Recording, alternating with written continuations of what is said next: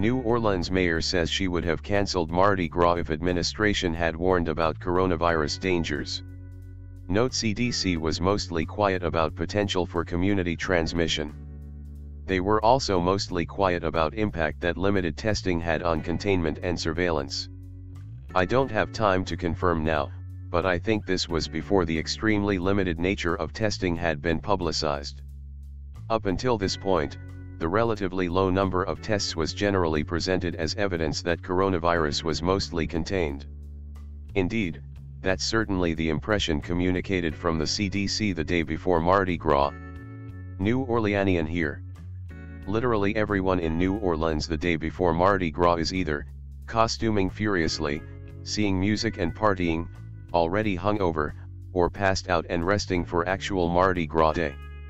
Nuclear warfare could break out across the planet on Mardi Gras Day and most of us won't know it.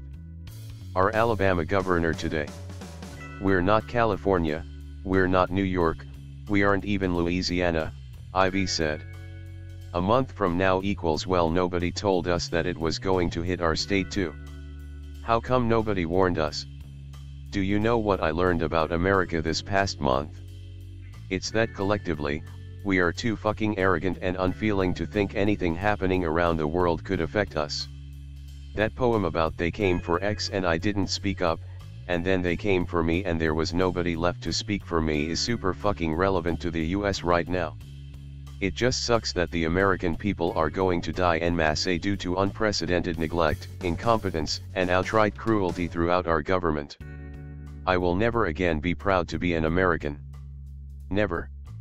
So I know her personally, she was a regular at my bar, Latoya is not a nice person, but she is competent.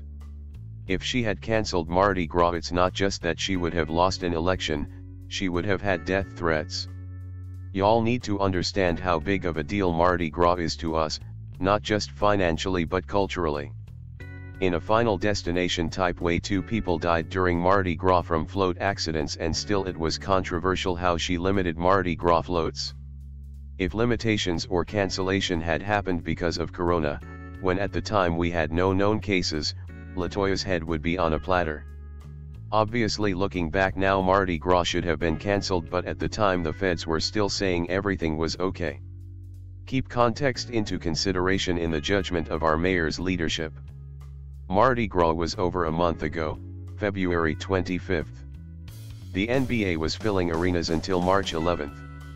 Most schools were full of children later than that. I don't remember any substantial number of people in the US worrying about it that far back. I agree that few people, certainly not me, were taking this seriously in February. That said, it's a pretty lame face-saving attempt.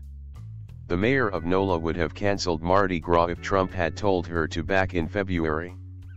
Pretty unbelievable.